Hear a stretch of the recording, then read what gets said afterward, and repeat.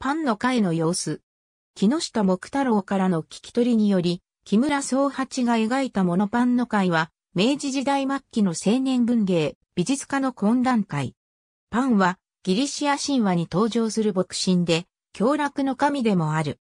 1894年に、ベルリンで結成された芸術運動、パンの会にちなむものだという。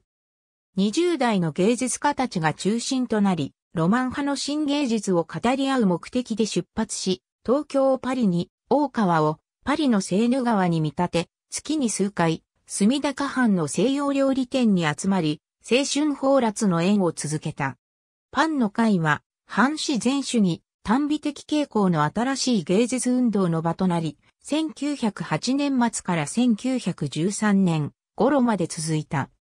スバル系の詩人、北原白秋、木下木太郎、長田秀夫、吉井勇村と美術同人誌、法寸に集まっていた画家、石井白帝、山本かなえ、森田常友、倉手白陽らが文学と美術との交流を図って意気統合し、日本にもパリのカフェのように芸術家が集まり、芸術を語り合う場所が必要だということになった。木下が苦労して会場を探し出し、1908年12月、隅田川の右岸の両国境に近い矢の倉菓子の西洋料理第一大和で第一回会合が開催された。翌年には欧米留学から帰国した高村光太郎がやや遅れて参加、上田聡、長井家風らの先達も時に参加し、短美派のメッカの官を呈した。長田秀夫、吉井勇、幼い薫、俳優の市川左団次、市川猿之助らも顔を出した。白州の東京景物誌、木太郎の食後の歌はこの回の記念的作品である。また、木下木太郎の回想に会合の様子が描かれている。次第に法一な主演の場となり、酒好きの会員が多く、どんちゃん騒ぎになることもあった。一方、1909年5月、社会主義者の集まりと誤解され、刑事50人が様子を見に来て、笑い草になったこともあった。1910年11月の会合は、石井白帝の外遊と、長田秀夫、劉慶介の入営の送別会を兼ねて、盛大に行うことになった。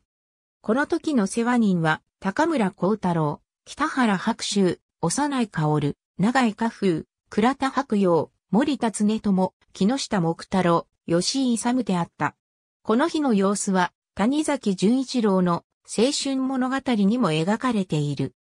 新市長、白樺、三田文学の同人から音楽、演劇の関係者まで参集し、空前の正解となったが、会場に掲げられた、祝長田くん、竜くん入営の張り紙に、高村光太郎が黒幕を書き込んでいたため、一万、情報に取り上げられ、徴兵制度を非難する非国民の会と批判されてしまった。大逆事件の裁判を控えた時期でもあり、黒枠事件以後は次第に盛り上がりを欠くものになっていった。パンの会は1913年頃まで続いた。明治の終焉とほぼ同時期であった。会そのものは短い期間だったが、自然主義に対抗するロマン主義的な運動として文化史上にその名を残した。ちょうど、幼い薫の自由劇場や雑誌、三田文学、新市長、白樺の創刊など、文芸上の新しい動きが起こっていた時期であった。カフェプランタンが開店するのもこの頃のことである。ありがとうございます。